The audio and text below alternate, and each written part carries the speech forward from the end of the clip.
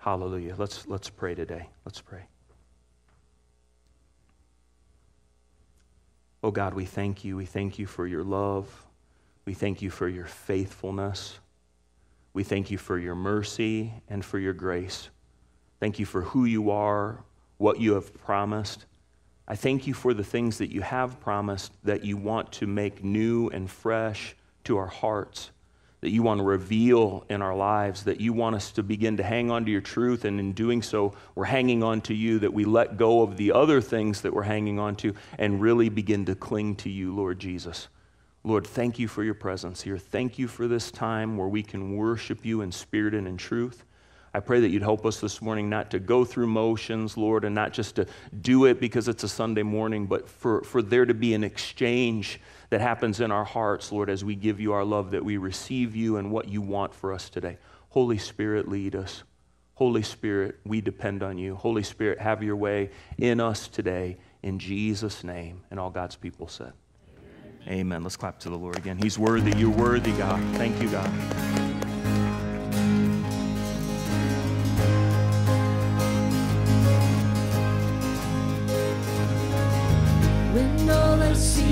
The battle, you see my victory.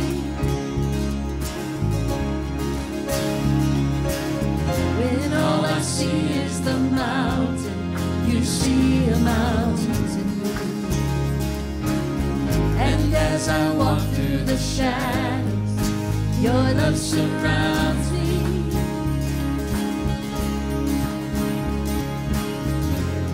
There's nothing to fear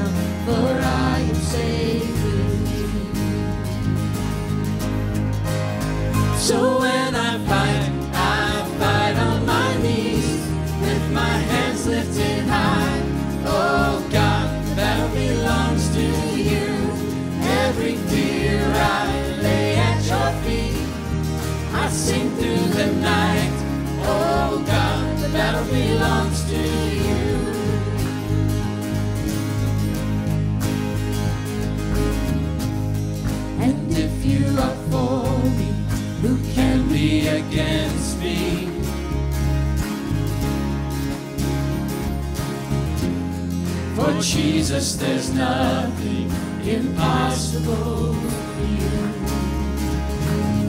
When all I see are the ashes, you see the beauty. When all I see is the cross, God, you see the empty tomb. So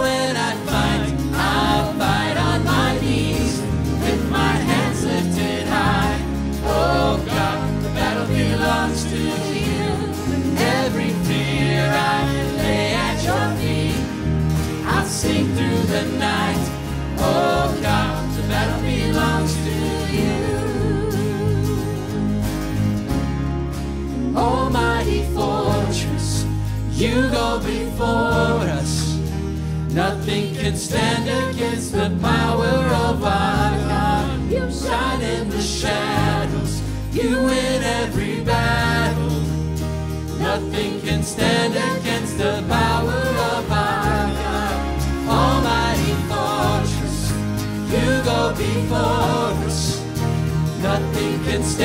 against the power of our God. You shine in the shadows, you win every battle. Nothing can stand against the power of our God. Almighty fortress, you go before us. Nothing can stand against the power of our God. You shine in the shadows, you win every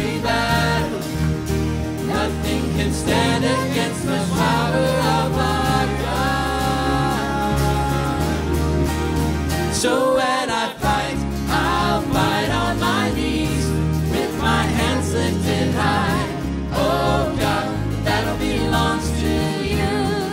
Every fear I lay at your feet, I sing through the night. Oh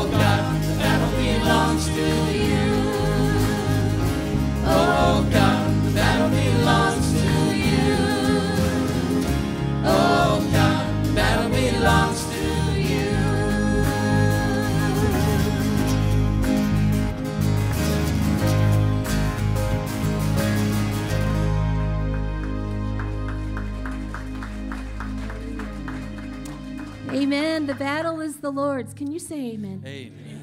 Amen. I just feel like it's so freeing to know that it's not up to me.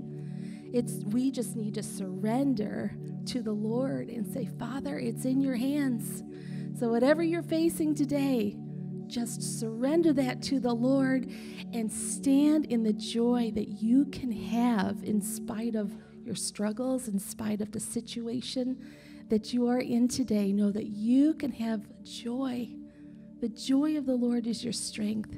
And we are given the Heavenly Father and through His Son Jesus that we can lean on. Amen.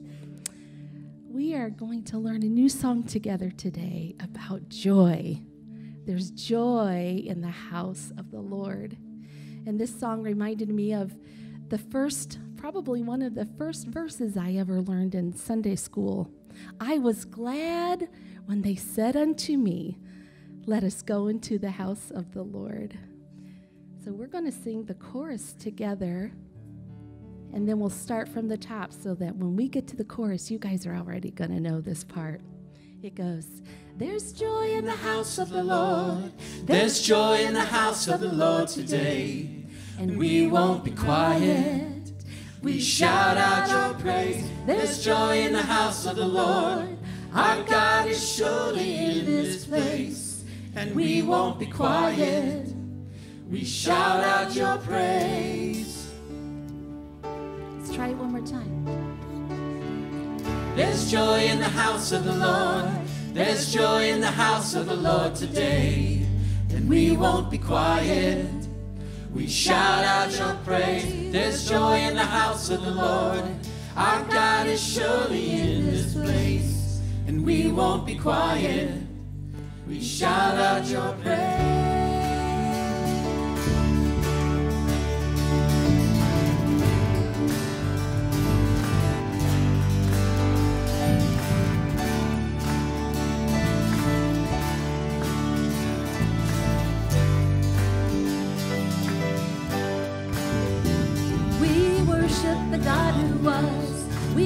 Worship the God who is. We worship the God who evermore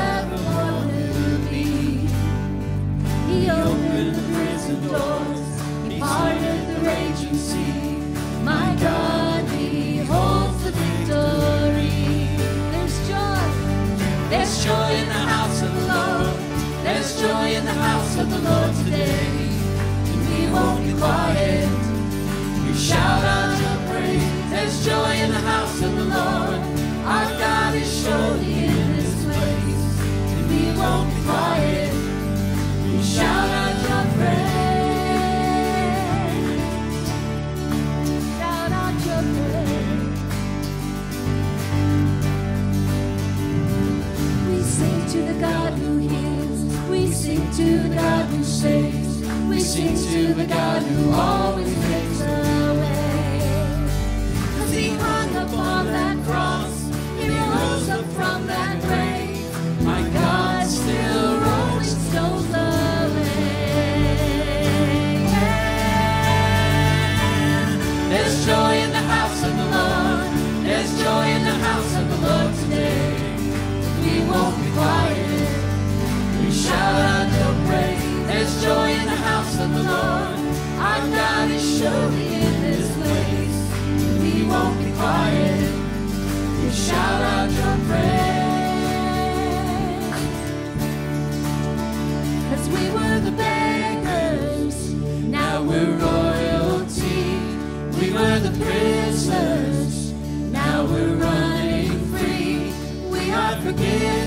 accepted,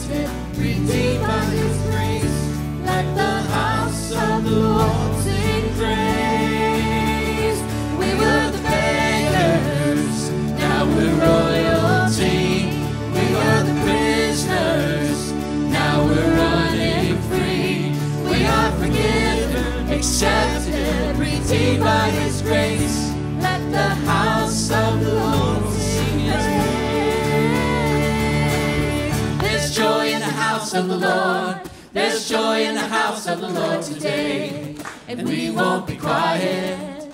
We shout out your praise. There's joy in the house of the Lord. There's coming surely in this place, and we won't be quiet. We shout out your praise. There's joy in the house of the Lord. There's joy in the house of the Lord today.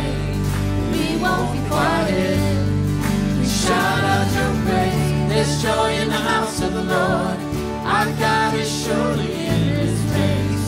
We won't be quiet. We shout out your praise.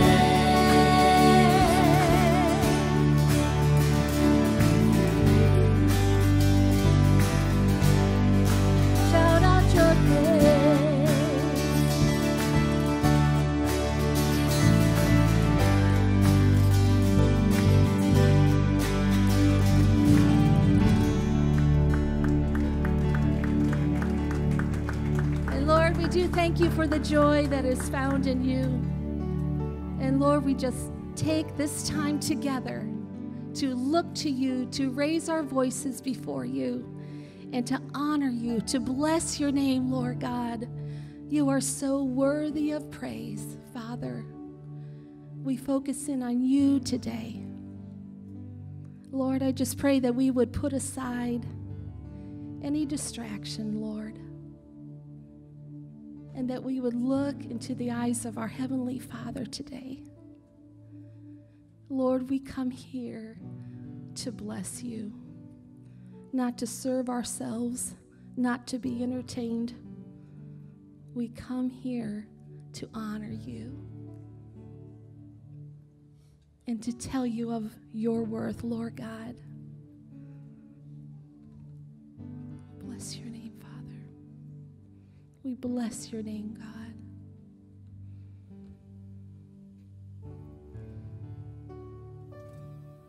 Bless the Lord,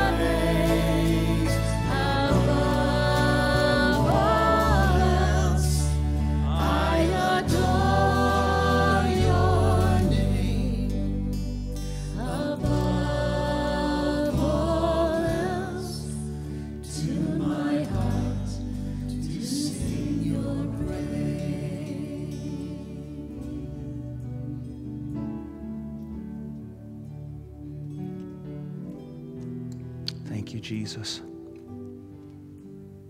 Lord, thank you for the way that you love us. Father, thank you for the way that you've demonstrated that, that love by sending your Son to the cross for us. And Jesus, you not just going out of obedience, but willingly because you wanted to show us your great love. Lord, I pray that your love would grow within us today and that in turn we'd be able to share our love with you. Jesus, you said that whoever loves you would obey your commands.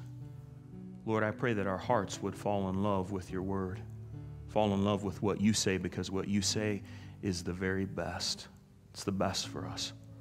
Lord, we thank you today. We receive you. We receive your love. We receive your word. Let it sink into our hearts, be embedded in our minds. In Jesus' name, amen. Amen. You may be seated. So good to be together today.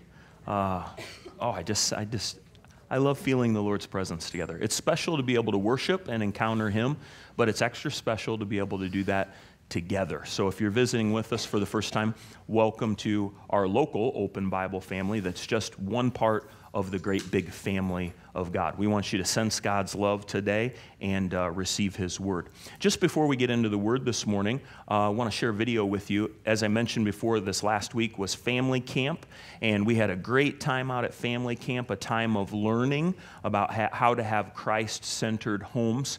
And so if you weren't with us, we missed you. But here's a little advertise- uh, advertisement, maybe to whet your appetite to be a part of family camp next year. Let's take a look. What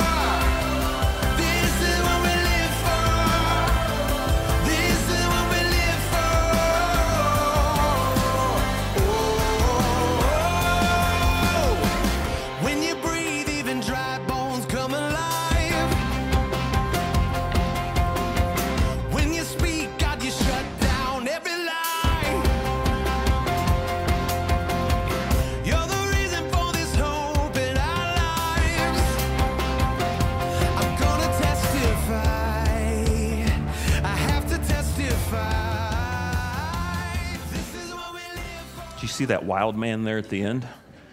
He about took out the cameraman. That was me, right? So I wanted to show you that, uh, hopefully to, to encourage you to get involved next time around, uh, but then also to be able to say thank you to everybody who worked um, behind the scenes to help make sure that family camp happened. It was an awesome time. Um, one of the things that Pastor Bjorn shared with me kind of as debriefing afterwards is the, just the value of being able to be together not only to have fun, because I believe that God created us to have relationships where we can be together and have fun, but there's a value of being together and serving together. And in our experience, what it seems like is when we serve together for God, it's like He, he connects our hearts even more with one another. And that's what He was doing at family camp. So hopefully, if you weren't able to be involved this time, next time around, we'd love to have you be a part. And in the meantime, we're going to be pursuing Christ centered homes. Hallelujah. A couple weeks ago, we looked at a scripture in Lamentations, Lamentations chapter 3, verses 22 and 23. I want to start there this morning. It says this Because of the Lord's great love, we are not consumed. For his compassions never fail, they are new every morning. Great is your faithfulness. Aren't you thankful that God's mercies are new every morning? Yeah? And it doesn't make any difference what time you wake up. Maybe you're one of those people that sleep in. So if you get up at 11:30 a.m., it doesn't mean that you only have 30 minutes of God's mercies left, right?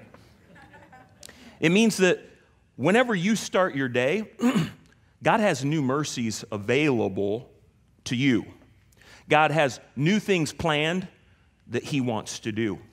And we need to receive this verse into our hearts because if we don't believe that, how are we going to receive or even begin to participate in the new things that God wants to do in us? His word is true. Amen. Mercy is when we don't get what we do deserve. Jesus took what we deserved. What did we deserve? Well, we deserved shame because of our sin, and we deserved punishment, and we deserved death. But Jesus took all of that on for us. Amen. Romans 5 8 says it like this But God demonstrates or he shows us exactly how much he loves us. While we were still sinners, Christ died for us.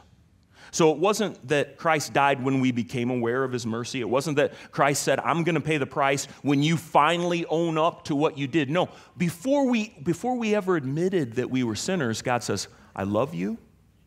And whether or not you take me up on this offer, I'm going to allow your sin to be put on my son, the penalty for your sin, that I might give you mercy. Amen? That's how serious God is about his mercy. He wants us to participate in it.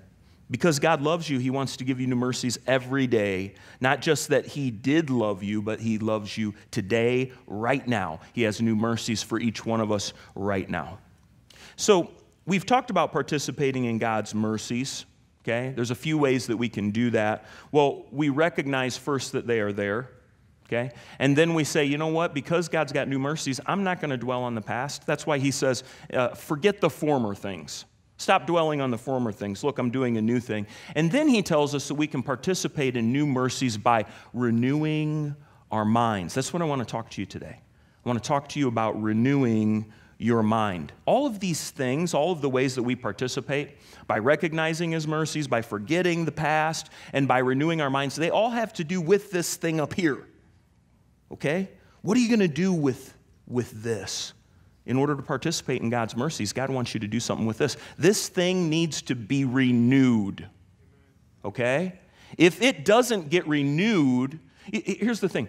When, when Jesus comes into your life, when you put your faith in Jesus as Lord and Savior, Okay? Romans 10, 9 and 10. If you believe in your heart and confess with your mouth that Jesus is Lord and God raised him from the dead, you'll be saved. So you have this salvation experience. From the minute that you do that, the moment that you do that, God takes, He puts His Holy Spirit inside of you. His Holy Spirit gives new birth to your spirit. But in a sense, your mind stays the same.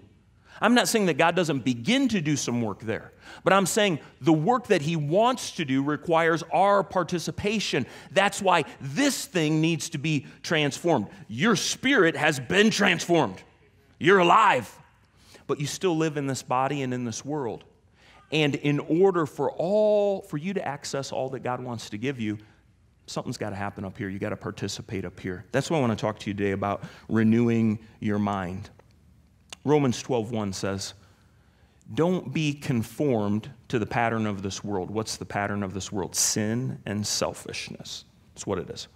But be transformed, be changed, be made new by the renewing of your mind. When that happens, the Bible says, you'll be able to test and prove or understand what God's will is, His good, pleasing, and perfect will. Much of what we do in this life and the way that we experience God is going to be dictated by whether or not we're willing to be obedient and say, Lord, I'm going to have my mind renewed.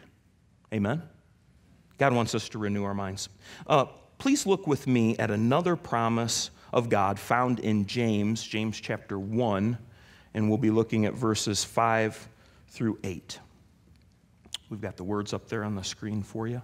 It's great to have your own Bible, take notes, highlight, underline, all that stuff. Why? Because we want to get the words off the page and get them into our hearts and in our minds. James chapter 1, verse 5. If any of you lacks wisdom, I'm going to raise my hand right now, right? If any, that's me. if any of you lacks wisdom, wisdom isn't Wisdom is, is unlike knowledge. It, it, knowledge is a part of wisdom, but wisdom is not just knowledge. You can have somebody that's really smart, really intellectual, but they don't know how to apply that, okay? And so they're not very wise. They may be very intelligent, but not very wise. Wisdom, there, it, it includes knowledge, but there's also an aspect of understanding and application. If any of you lacks wisdom, you should ask God, who gives generously to all without finding fault, and it will be given to you. But when you ask, you must believe and not doubt, because the one who doubts is like a wave of the sea blown and tossed by the wind. That person should not to expect expect to receive anything from the Lord. Such a person is a double-minded and unstable in all that they do. Here's the thing. I used to not quite understand this, and so I kind of kind of got this a little wrong. But I used to think that if I had doubt, that my doubt would disqualify me from God giving me wisdom. Okay? Uh, but that's really not the correct interpretation of the scripture. Here's what happens though God wants to give you his wisdom just like he wants to give you his mercy. And if you have a doubt in your mind, it's not that God's going to say, Well, I'd give it to you, but you're still doubting. Eh, thanks for playing, okay? Try again. No, what happens is God, I believe, releases that. But what happens is when we have doubt in our mind, what happens is it keeps us from accessing the wisdom that is already available to us. There are things that God has already given that He wants us to tap into. There are new things like new mercies every day that He wants to give us, but He wants us to begin to access both. Doubt will get in the way, not of Him giving it, doubt, doubt will get in the way of us receiving it. Okay?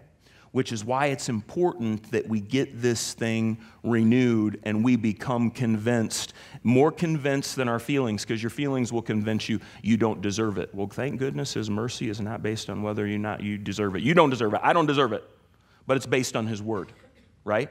We might think, well, I'm going to be disqualified. Because, uh, he's not going to give me wisdom. Do you know what I did the other day?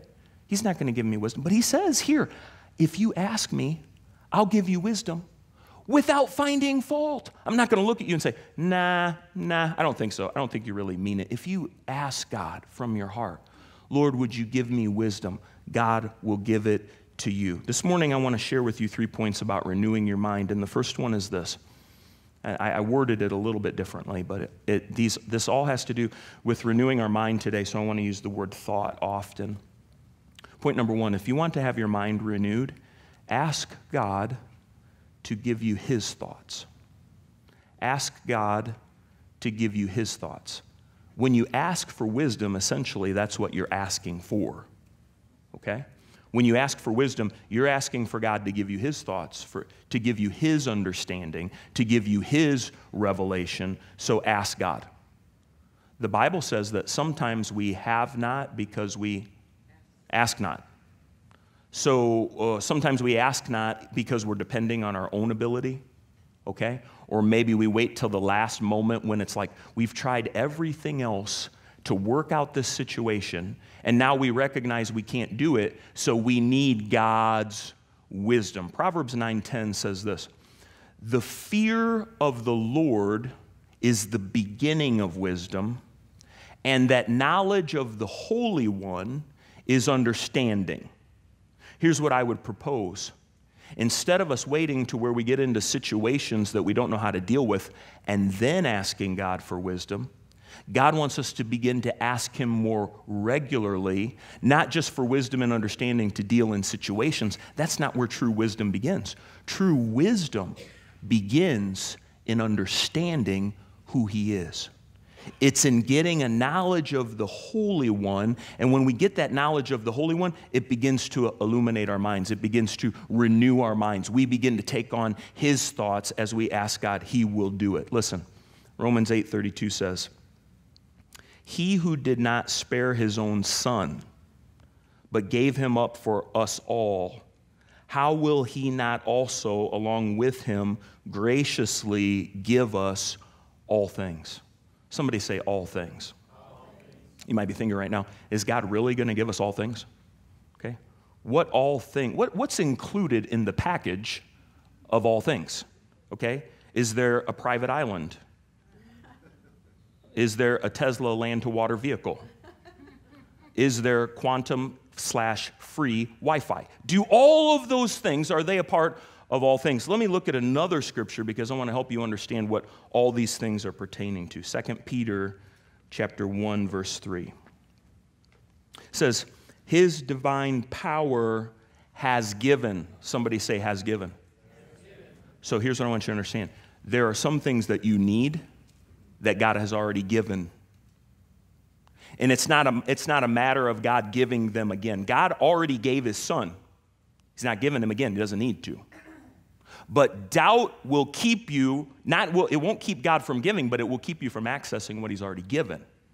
So there's things He's already given, and there's new things like His mercy that He wants to give every day. His divine power has given us everything that we need for a godly life, okay? That's what the all things are referring to. All the things that we need for a godly, a godly life through our knowledge of Him who called us by His own glory and goodness.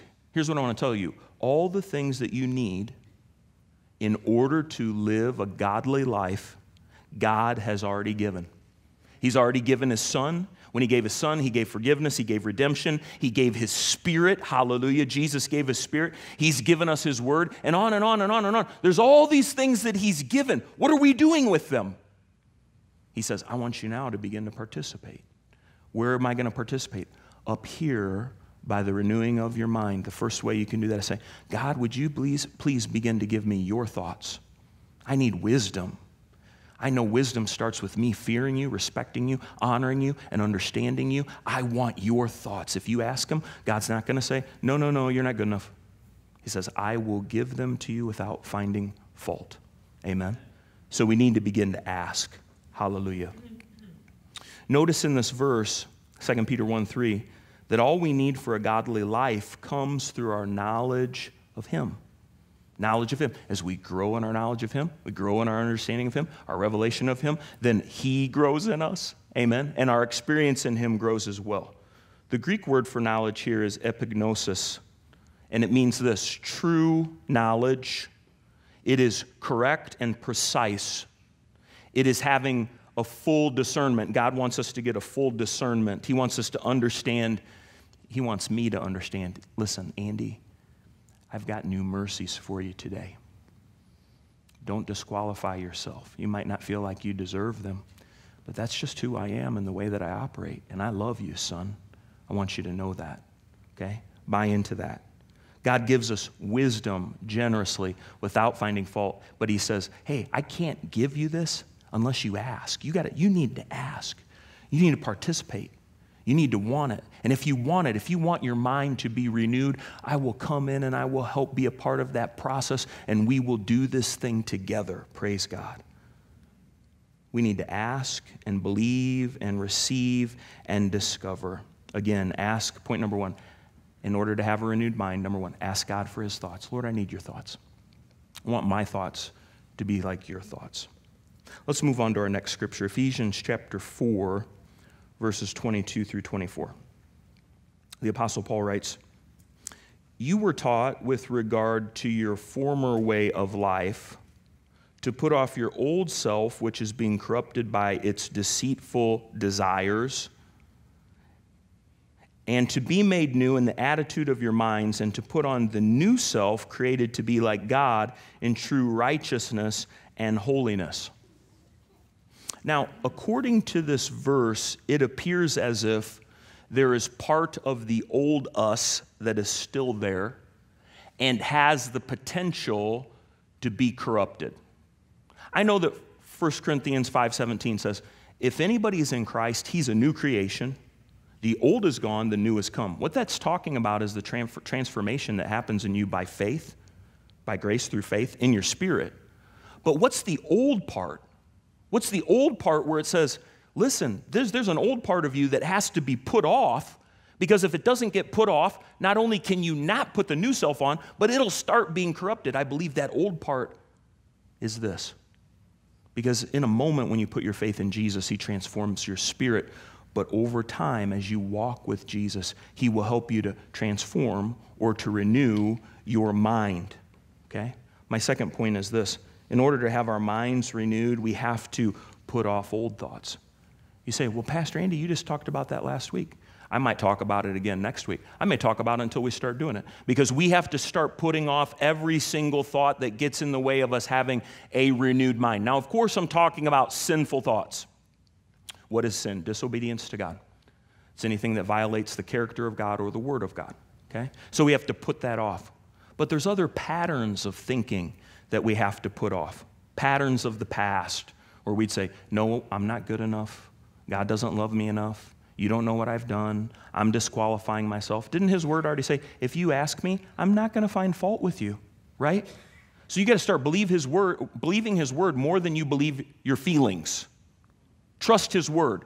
You might want to speak that word out loud. You might want to hang it up in your car. You might want to put it on your bathroom mirror. You might want to do whatever you got to do to get that word inside of you so that when that little pesky voice that comes from, I don't know, your own imagination or the devil himself that says, You're not good enough, God's not going to do anything for you. You know, there's, a, there's an old song that Carmen sang, and he said, You know what? When the devil reminds you of your past, you just remind him of his future. Hallelujah. Because you have a future in Christ.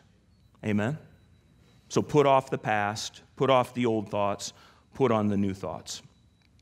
The next thing that we have to put off are patterns of thinking. Patterns of thinking. Have you ever had some wrong patterns of thinking? It's like you have an argument with somebody else when they're not even around. Like you start to anticipate the next conversation that you're going to have with them. You're like, oh, I'm going to bring this up. This needs to be addressed. And I'm going to say this. And when I say this, they're probably going to say this. And then I'm going to come back. I'm going to get them with this, right? It's like, why are you even doing this? No one else is here. You're having an argument in your brain, okay, with an imaginary person. We got to put that stuff off.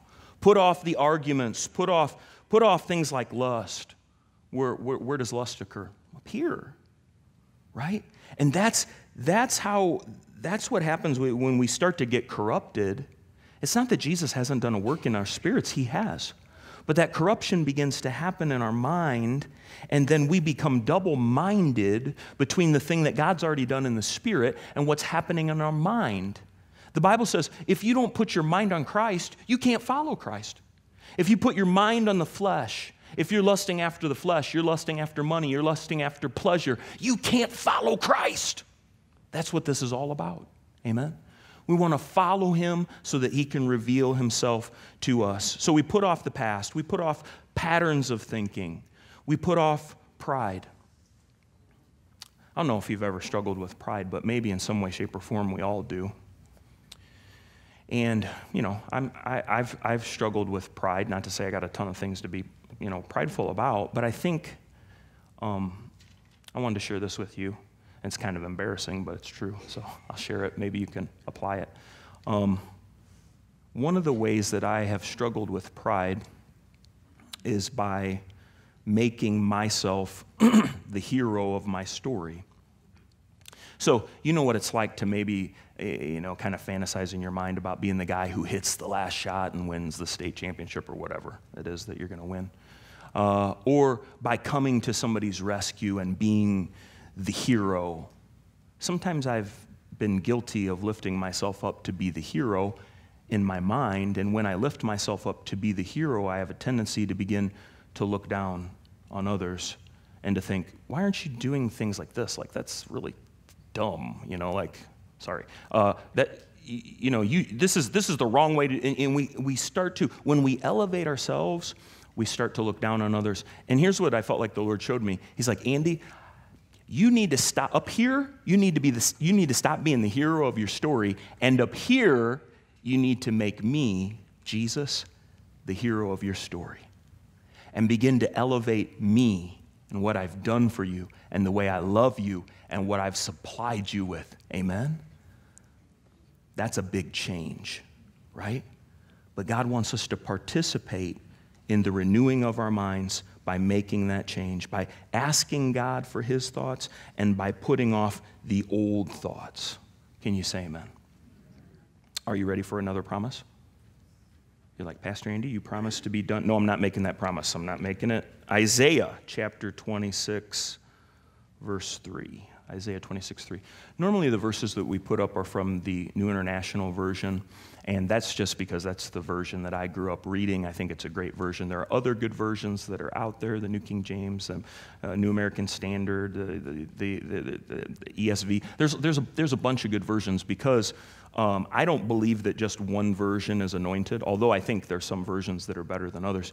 But I believe that the inerrancy of the Scripture is preserved through the interpretation of the Holy Spirit and you need to have the Holy Spirit help you to understand the Word of God. So, we're going to look at this verse today in the New King James Version, uh, just because I like the way that it's worded. Isaiah 26 3. It says, You will keep him or her in perfect peace whose mind is stayed on you because he or she trusts in you.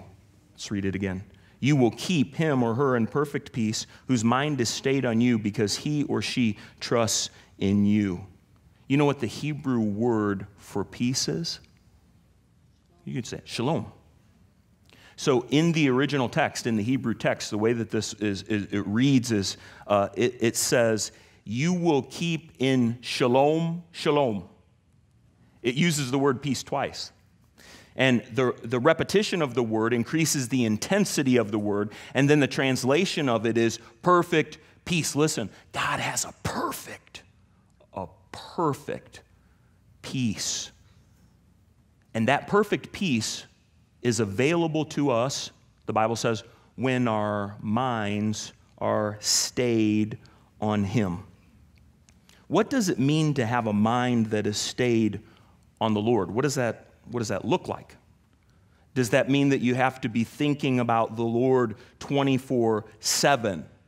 Well, I'd like to, I like to think that I think about the Lord quite often, but honestly, there's some times where my brain is so involved in whatever it is that I'm doing that I couldn't tell, tell you that I'm consciously aware. I'm not meditating on Jesus because I don't want to saw my you know, hand off or whatever it is that I'm doing. I'm kind of engrossed in that. All right? But I wanted to understand what it means to have a mind that has stayed on Him. What does it look like? Well, in Isaiah 26, 3, it uses the word stayed. The, the Hebrew word for stayed is samak. Probably didn't pronounce that the best, but that's my best effort. And it, it means to rest or to lean. Okay? To rest or to lean. Now, this is my second service okay? But I'm not a wimp, so it's not that easy. It's not that hard for me to stand up here. But if I were tired, okay, I could maybe act like I'm really intense and lean over the pulpit, right? And get a little break, a little relief, because I'm not using all of my strength to support myself. Uh, I'm actually using the podium. Or maybe you've been on your feet for a long time and you work a long day, and if you're going to rest, you might lean up against something, take a little weight off, right? Or if you're really, really tired, Okay, you've probably heard the phrase sit down, stay a while, All right? So just uh, take, it, take it easy, unload. So now I'm just going to unload and I'm just going to sit back and I'm going to relax and I'm going to recline and I am just going to lean on this fully. I'm being fully supported right. I might just finish the rest of the service right here if you don't mind, okay? That's what it means to have a mind that stayed on Him. It's not a mind that's leaning on something else. I can't lean on this stage and that chair at the same time. I can't do it. And God says, You can't lean on the things of the world and lean on me at the same time. When you have your mind stayed on me, it means you're leaning on me, you're supported by me, and I'm upholding you. Oftentimes, we lean mentally, we're stayed mentally on the things of this world that would support us okay? We, we, what's going to support us? Well, you know what? I'm a, my job's going to support me, and my savings is going to support me, and my 401k is going to support me, and if I lose, I, I, have got this plan, and this is, or we're supported by, uh, when's the next time I get to vaca- take a vacation? Okay? Or you're supported by, when's the next family? When's the next? God says, I don't want your mind to be stayed there and leaning on that because when you lean on something that is unstable, you only set yourself up for a fall. Doesn't He say, Don't be a double minded man? Don't be unstable in all your ways. I want you to have a renewed mind. I want you to ask for my thoughts. I want you to put off the old thoughts. And then I want to help you have your mind stay on me. Keep leaning on me. If you discover that your mind's been away from me and it's been on something else, then get your mind back to me and get to leaning and thinking about Jesus. And the more we do that, the more the transformation occurs, the more he reveals himself, the more we come into unity with who he is and what he's doing. Be transformed. When your mind is stayed on him, it'll res- result in peace. You see, when you start to live, when you have your mind set on Jesus, here's what's going to happen the benefits, you're going to recognize there's new mercy. Amen. When you have your mind that stayed on Jesus, He's going to give you discernment and say, That's an old thought. That's the part of the old self. Get rid of that. I got the new self coming in, baby. It looks real good. Put it on right now, right? I want you to let your mind be stayed on me, rest on me, be supported by me. Don't be supported. Don't have your mind hung up on the things of the world. Hallelujah. Put off those thoughts. Let your mind be renewed on Christ. If you didn't catch it, point number three is this lean your thoughts toward God.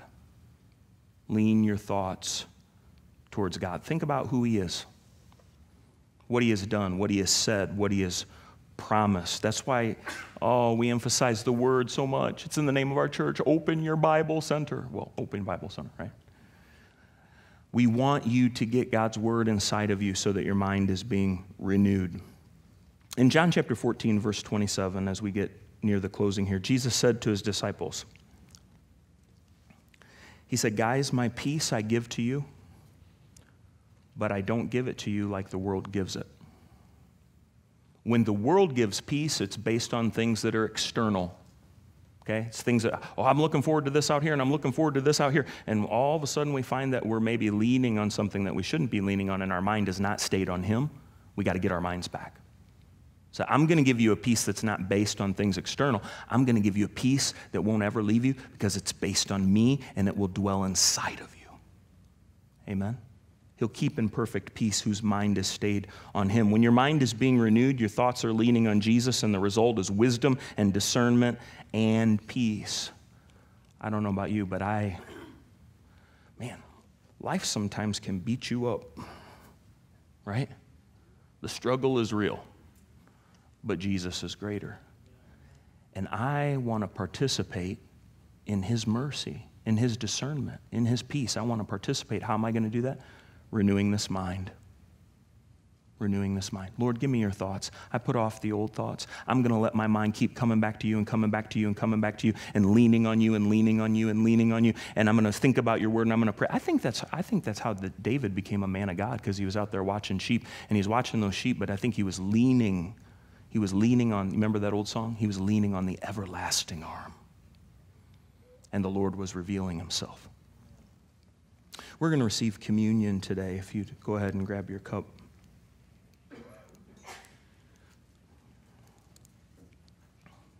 What does it mean to commune? it means to communicate intimately. Jesus wants to communicate intimately with us. He wants there to be a deep exchange between who he is and who we are. In John chapter 6, verse 53, Jesus was talking not only to his 12 disciples, but he was talking to many of his followers. And he said to them this phrase, which was very hard to, for them to receive and to even understand. He said, Unless you eat my flesh and drink my blood, you have no part of me. Now, we understand today that the words that Jesus was speaking were spiritual words. Jesus was not endorsing cannibalism. Okay? But many of the people who were there had a very hard time understanding what he was saying, and as a result, they left. They got up and they left. It's a little embarrassing. And Jesus turned to his other 12 disciples and he said, Would you guys like to leave too? And I love Simon Peter's response in John chapter 6, verse 68. Here's what he said when Jesus asked them, asked them that. He said, Would you like to leave too? Simon says, Lord, who else are we going to go to?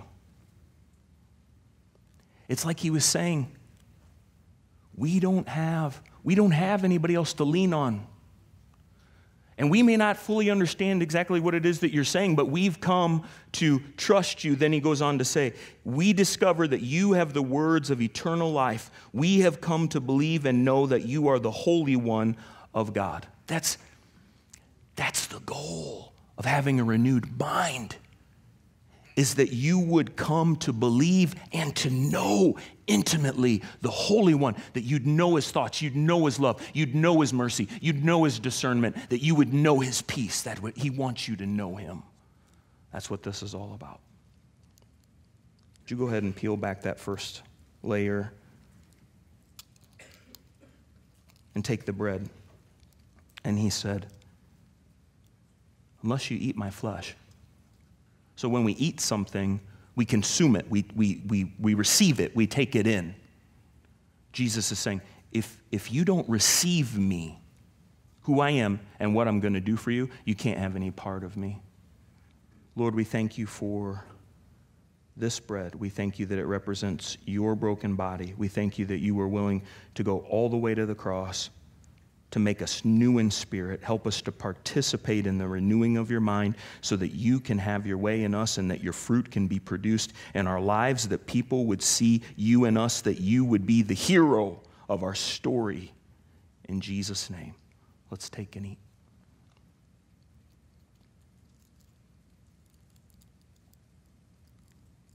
You can go ahead and peel back that next layer, please.